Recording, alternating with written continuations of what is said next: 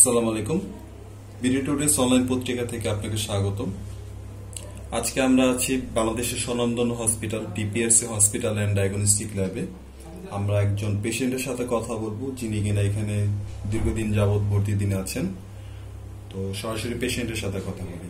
জি আসসালামু আলাইকুম। আচ্ছা আপনার নাম কি? মোহাম্মদ শুকুর আলী। মোহাম্মদ শুক্কুর আলী। আপনার আপনি কোথেকে আসছেন? আমি সিলেট থেকে আছি সিলেট থেকে আসছেন।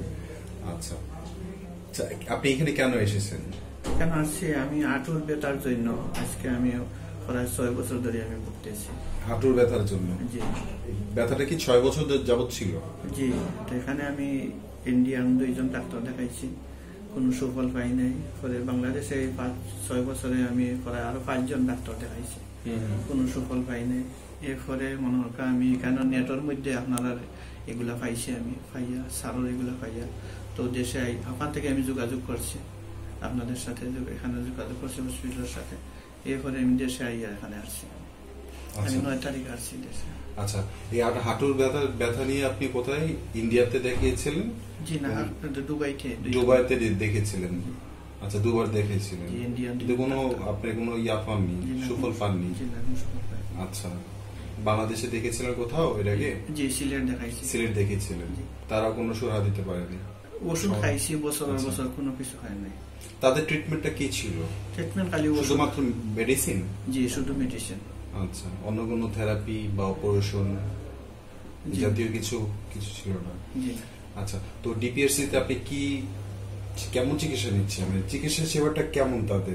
শুধু কি মেডিসিন নাকি অন্য কিছু? এখানেও ব্যায়াম এরপরে হিট হুম। দেওয়া থেরাপি বা মেডিসিনও আছে। আচ্ছা। বা তাদের সেবাটা আমার কাছে অনেক উন্নত বা অনেক ভালো লাগছে।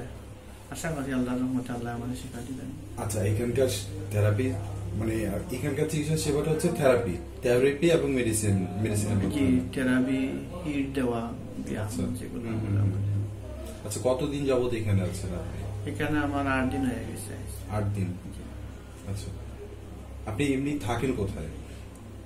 আমি দুবাই থাকি। দুবাই থাকেন। দুবাই দুবাই থেকে কি এখানে এসেছে চিকিৎসা শুধুমাত্র চিকিৎসা নেওয়ার জন্য? জি জি। আচ্ছা। তো এখন আপনার কি অবস্থা? এখন আলহামদুলিল্লাহ ভালো।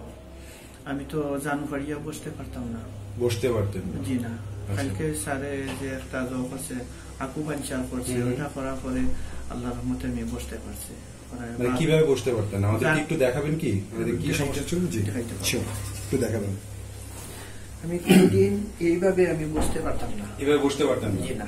যখন আল্লাহর রহমতে আমি আমি বসতে পারছি। এখন বসতে আল্লাহর রহমতে বসতে পারছি। এইভাবে আমি কোনদিন আমি বসতে পারি কোনদিন বলতে কি এই যে ছয়টা বছর ছয়টা বছরের যে। সমস্যাটা ছিল ছয়টা বছরের মধ্যে আপনি এইভাবে বসতে পারতেন। বসতে পারছি না আমি। এইভাবে আচ্ছা কিন্তু এখন বসতে পারেন এখন আল্লাহর রহমতে প্রায় বারো আনা সুস্থ মতো এখন কোনো বসতে কোনো সমস্যা হচ্ছে না সামান্য যেমন কেন ধরতেছে সামান্য। আচ্ছা আচ্ছা। আল্লাহর রহমতে আমি নমাজটা পড়ছি এইভাবে। আগে নামাজ পড়তেন এইভাবে। আচ্ছা এখন কি নামাজ পড়তে পারেন? কালকে আমি আল্লাহর রহমতে জানু পারিয়া পারছি। তাই? আগের মতো।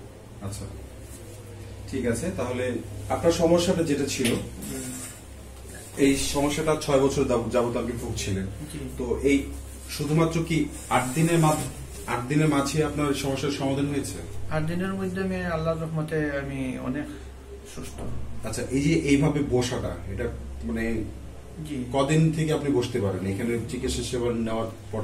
প্রায় আজকে আপনি তো এইভাবে বসতে পারতেন না তাই না। তো এখানে ভর্তি হওয়ার কদিন পর থেকে আপনি এইভাবে বসতে পারেন? চার পর থাকি আমি চার কিছু দিন পর। আরাম পাইছি। চার দিন পর জি এরপরে কালকে একটা আকু পাঞ্চার একটা করছেন এটা করার পরে আল্লাহর রহমতে আমি আরও ভালো এখন আরও ভালো। জি আচ্ছা আচ্ছা। তো ঠিক আছে। তো আচ্ছা আপনি যে এখন এইভাবে বসতে পারছেন আগে তো পারতেন না। তো আপনার অনুভূতিটা কেমন? আপনার এখন কেমন লাগছে? অনেক ভালো। অনেক ভালো। অনেক ভালো। আলহামদুলিল্লাহ আচ্ছা ঠিক আছে। তো আপনি তো আজকে চলে যাবেন যতটুকু আমি জানি। আজকে চলে যাবেন। কোথায় যাবেন? দুবাই যাবেন নাকি সিলেট। আজকে সিলেট চলে যাব। আট তারিখে আমি দুবাই চলে যাব। আগামী আট তারিখে আপনি দুবাই চলে যাবেন? আচ্ছা ঠিক আছে। আপনাকে আপনার জন্য শুভকামনা রইল। আপনি ভালো থাকেন। আপনার মূল্যবান মূল্যবান সময় দেওয়ার জন্য আপনাকে ধন্যবাদ। আলহামদুলিল্লাহ। আসসালামু আলাইকুম। ওয়ালাইকুম আসসালাম।